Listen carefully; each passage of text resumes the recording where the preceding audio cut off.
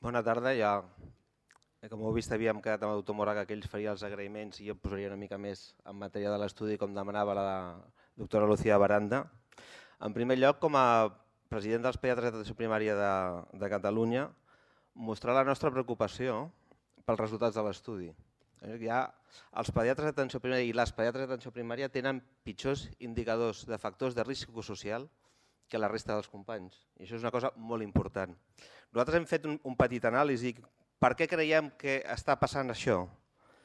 D'una banda, l'estudi surt, els pediatres d'atenció primària tenen menys perspectives de promoció, tenen la sensació, i és certa, que no poden influir en les seves condicions de treball i la manera de treballar. I aquest estudi crec que posa de, en primer pla que quan s'hagin de prendre decisions en política d'atenció pediàtrica s'ha de comptar amb els pediatres d'atenció primària, perquè som els metges que millor coneixem la realitat de l'atenció a la població infantojuvenil i s'ha de comptar amb ells.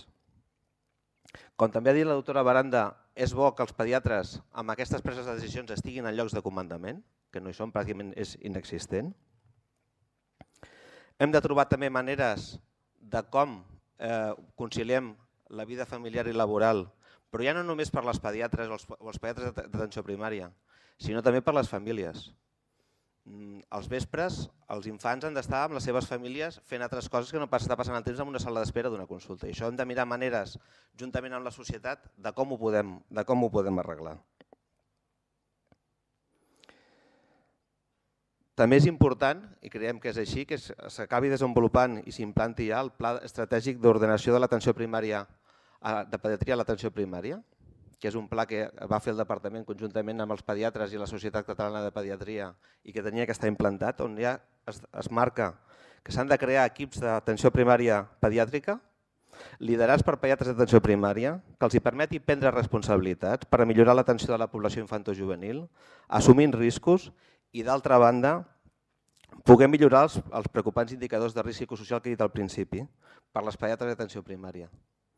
Els pediatres, com ha dit la doctora Baranda, ens coordinem millor entre pediatres. Seria bo que tinguéssim equips més grans per poder-ho fer perquè estem molt, moltes vegades amb equips molt petits. I també tenim moltes dificultats per coordinar-nos amb els pediatres d'hospital, amb els especialistes, que és una cosa que és bastant comuna a l'atenció primària. Què passa? Que no hi, ha, no hi ha càrrecs de comandament de pediatria perquè s'hi puguin dedicar a això. I això no és pura teoria. Això ja tenim experiències a Catalunya que funcionen d'aquesta manera.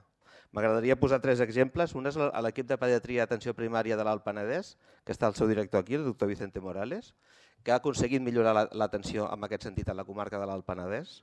I un altre de molt diferent, que és la pediatria dels Pirineus, perquè la realitat de la població de l'Urgell era diferent, però en un moment on aquella comarca no hi havia pediatres que volguessin anar i semblava que tota l'atenció pediàtrica trontollava, es va optar per donar protagonisme als professionals. Hi va haver uns professionals que a més a més van arriscar, van fer una cooperativa de pediatres que estan liderats pel doctor Jordi Fàbrega i els resultats han sigut tan bons que ara mateix el, doctor Jordi Fàbrega se'n fa càrrec de l'atenció pediàtrica de la zona, de la direcció assistencial de l'hospital i també és el, director assistencial de l'Institut Català de la Salut per, per aquella zona.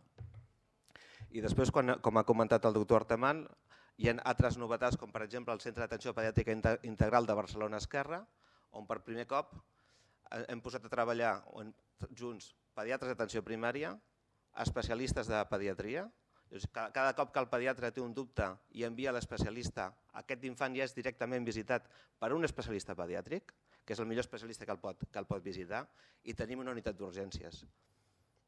La gràcia de tot això ha sigut que s'ha pogut comptar amb els professionals i que els professionals hem pogut dir la nostra i poder organitzar de la manera que creiem més convenient. I ja tornant al principi amb el tema dels càrrecs de comandament i de la presa de decisions, com deia la doctora Baranda, veiem amb l'estudi que els pediatres que tenen llocs de comandament que poden eh, prendre decisions sobre la seva feina tenen millors indicadors de, de risc psicosocial i nosaltres creiem que aquest és el camí.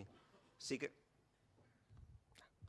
sí que demanarem al, al, al Col·legi de Metges que ens, que ens ajudi, però hem d'aconseguir que les autoritats sanitàries es posin i s'impliquin més amb la creació i l'instauració d'aquest model, jo diria el model català d'atenció pediàtrica basat en els equips de pediatria d'atenció primària. Moltes gràcies.